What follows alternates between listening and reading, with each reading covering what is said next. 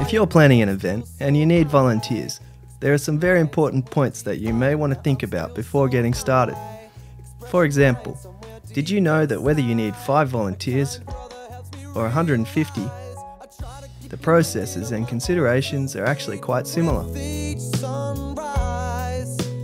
Volunteering Queensland has put together a series of videos to give you some helpful insights into what you need to consider when recruiting volunteers for any event.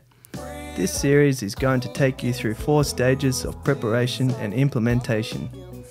In video 1, we will look at planning. In video 2, we'll touch on recruitment. In video 3, we'll cover training and orientation.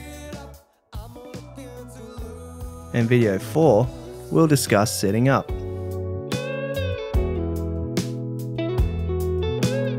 These videos are designed as a broad overview to guide you through the successful recruitment and management of volunteers for your event.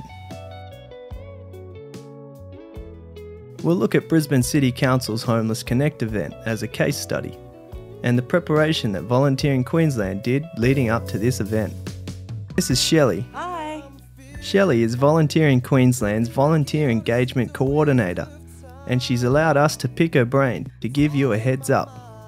We understand that this series only skims the surface, and you're welcome to contact Volunteering Queensland to access the full scope of our resources and engage in consultation, or even discuss how we can support you with your event.